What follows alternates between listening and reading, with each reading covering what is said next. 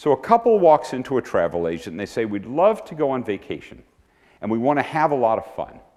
Now, we only have five days and we've saved $3,000 for our vacation. It's a big vacation for us. And they say, So where do you think we should go? Now we have to figure out how do we take this little bit of information and expand it out and structure it and turn it into something that they can deal with and actually select a good place to go on vacation. I was in a situation once with a client uh, that I was working with, one large corporation, and they had three division presidents.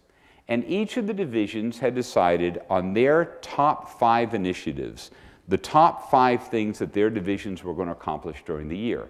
And they'd spent a matter of weeks working out with the management team the five most important things for each of the three divisions. And the chief executive said, okay, I want you folks to go together in a room. I want you to take those lists and combine them to one combined list, 1 through 15. They may as well have put them in a steel cage with machetes. because how do I know that my number two is more or less important than your number four? That's a very hard thing to do. In order to break through this, what I've often found is we apply what they call fuzzy logic. Not necessarily getting things into exact one, two, three, four order, but instead putting things into buckets. Must do, should do, nice to do. It's much easier to put things into broad buckets like this than to rank them. So there's five parts so far that we've seen to defining a decision. And these are common across almost every decision. You have to have a good objective. You have to understand what is it that we're trying to achieve. The second is constraints.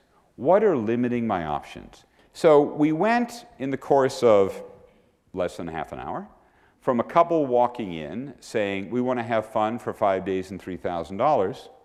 This is the only fancy transition of the PowerPoint to something that's very well structured. We'll come back later, but this now is something that the couple, the travel agent can really work with.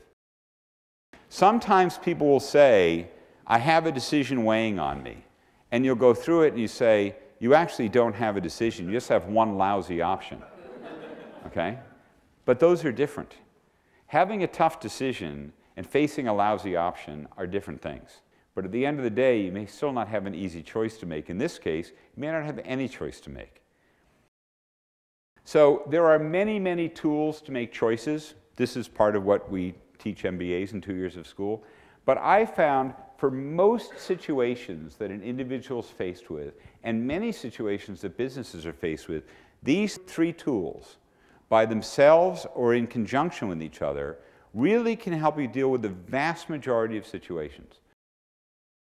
Can I buy myself an option and get myself more time, more information, right? Can I get into the situation? Restaurant reservations is a free option. Deposits on colleges is a relatively expensive option. Deposits on homes is a very expensive option.